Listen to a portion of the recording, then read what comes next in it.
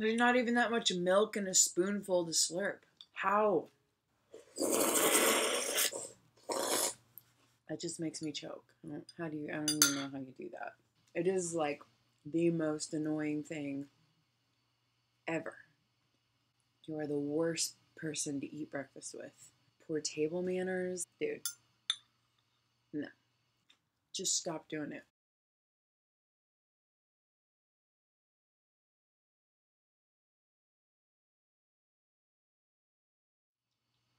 Again.